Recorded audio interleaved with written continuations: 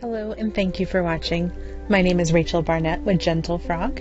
I'm here to create videos for you to help you understand QuickBooks slightly better than you currently do. If you have any comments, questions, or suggestions, please put them in the chat box. Thank you. Hi, this is Rachel Barnett from Gentle Frog. In this video, I want to show you how to record a customer deposit but just to leave it in accounts receivable, not to move it over to a liability account. There's going to be reasons you'll do one versus the other. If you ever want to chat about it, I'm more than happy to chat with you privately. This video is just to show you one more way of addressing this.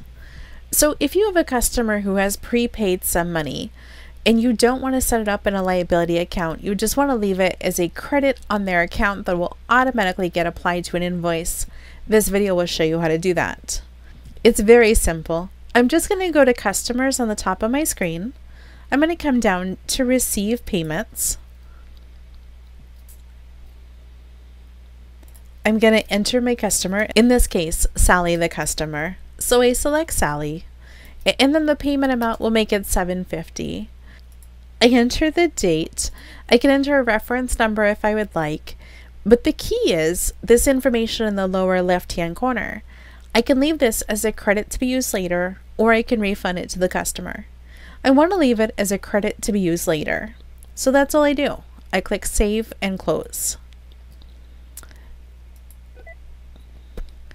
Let me show you how this looks on the balance sheet as well as the profit and loss. I'm going to start by going to Reports, Company and Financial, Balance Sheet Standard.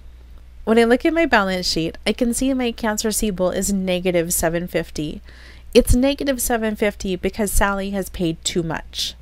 If I want to see it in a different way so that I can see who has paid too much, I can go to reports. I can go to sales. Oh, I can go to customer and receivable. I can go to AR aging summary or customer balance summary. I'm just going to go to customer balance summary for this. And I can see Sally the customer has a balance of negative 750.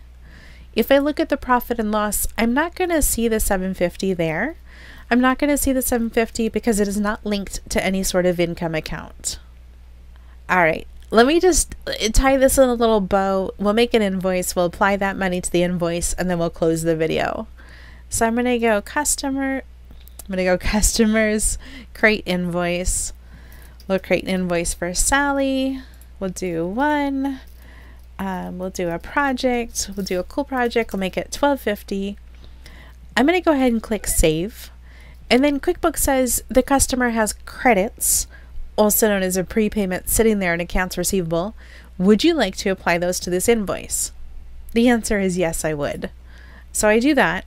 It says you've got $750 worth of credit. I want to use $750 worth of credit. That's going to leave a balance of $0 worth of credit. I'm going to click done.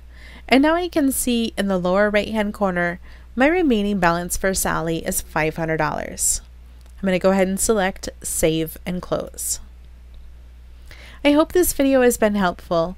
If you have any questions, anything you'd like to see me create a video for, please leave them in the comments down below. If you'd like to see step-by-step -step instructions, we'll provide a link to that in the description for this video. Thank you so much and have a great day.